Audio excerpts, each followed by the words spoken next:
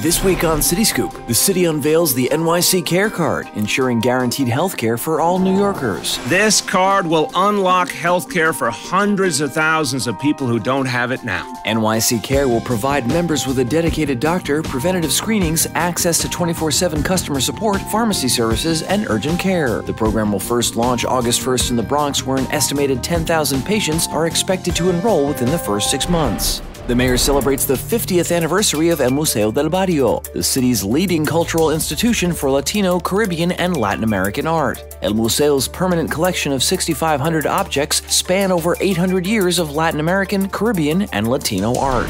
The city appoints Louise Carroll as Commissioner of the Department of Housing Preservation and Development. In her new role, Carroll will help create and preserve more affordable homes and will work with the mayor's office to protect tenants to hold landlords accountable and help keep more New Yorkers in their homes.